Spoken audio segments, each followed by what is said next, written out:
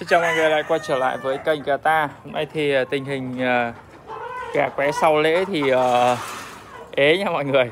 Đây là gà mình ờ, bắt dao Bắt đi dao Gà Minh Dư với gà nòi. Đây là gà Bình Định mái. Gà Bình Định trống sau lễ thì đợt này non hơn Hút gà hơn một chút. Non hơn trước nha mọi người. Đây. Đấy. Quay cho mọi người xem người thấy uh, iPhone mới mình tải cái app quay VIP không? Có cả cái cái mặt mặt nở của mình ở trong đó mọi người. Đấy. Gà Bình Định nha mọi người. Bình Định nè.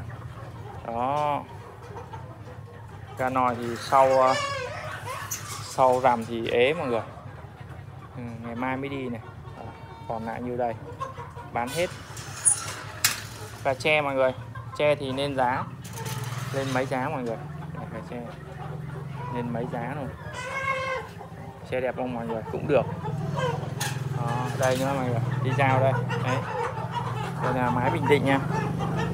Mái hết. Người ta dặn mấy chục con mái mọi người. Đi giao. Đấy, còn một mớ nòi ở dưới này. Ôi vô vô vô vô vô. Trống bên này non này. Cho mọi người xem con trống bình định. Sau làm non này. Đấy non chè này. Đấy mọi người thấy không? Bắt cho mọi người coi nha đỡ đỡ cũng khô nha mọi người khô cứng rồi hơi non xíu thôi. Khô cứng mọi người ạ. Đấy coi kỹ cho mọi người coi. Ổ cái app này quay vãi thật. Bén phết mọi người nhìn nét nha di chuyển nó vẫn uh, đứng hình nha nó không có nhiễu. Mọi người che tạm ổn mọi người nhìn giờ anh đang ngáp kìa. Nhưng mà cái này hình như nó không có phóng thu phóng được mọi người ạ. Đưa tay vào thu phóng nhưng không được mọi người.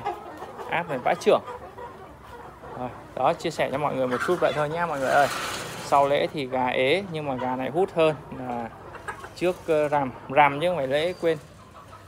Đây, đây. có vậy thôi mọi người. Hút trở lại. Máy bình điện. Đó máy bình điện đó. Cứng phết máy bình điện thì cứng.